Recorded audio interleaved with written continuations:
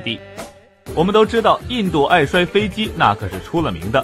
四十年，一千多架各型战机纷纷不甘殒命，印度也因此被网友调侃为击落过世界上所有国家战机的最牛国家，没有之一。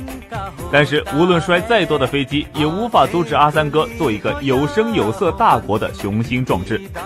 这不，阿三哥又 get 新技能，将印度神炮给沦为牺牲品，还甩锅给中国。不少网友就问：这飞机飞在天上可以摔下来，那么这走在地上的大炮到底怎么个玩法呢？实际上，阿三哥在开挂的路上从来不会让我们失望。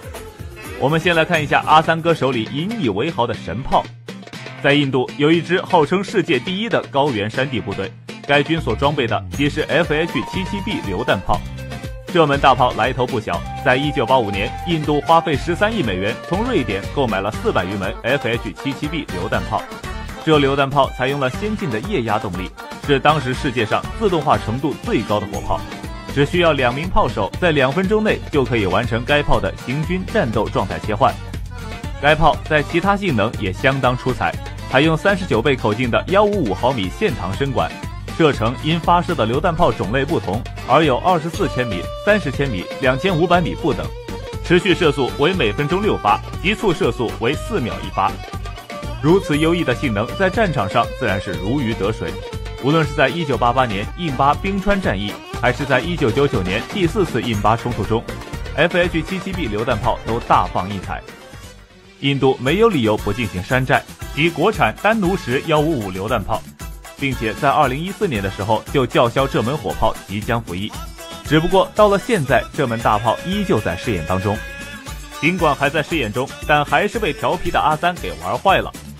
最近印度又炸锅了，起因是丹努什神炮在试验中炮弹击中炮口制退器。炮弹击中炮口这事儿，天下估计只此一家，别无分店。而且这很容易引发严重的爆炸事故。一枚在炮口爆炸的幺五五毫米榴弹炮，对周边的人员和设备将是致命的。而在此前的一次试验中，这枚大炮不负众望，将离得远远的工作人员给轰了个半死不活。就这么简单的抄袭工作，印度都差点闹出人命。想成为亚洲第一，阿三看来还有很长的路要走。当然，这事儿还不算完。阿三装模作样进行了一番调查之后，认定单独使火炮的故障原因是因为使用中国生产的滚珠轴承尺寸偏差过大，这严重危害了印度的国防安全事业，将一口硕大的黑锅甩给了中国。这次又是阿三无中生有吗？那倒也不是，这些滚珠轴承确实是中国河南洛阳某公司生产的。要知道，河南洛阳重工那可是天下出了名的。为中国航天生产的轴承都没事儿，怎么到了阿三这神炮上就出事儿了呢？仔细一想，发现大有蹊跷。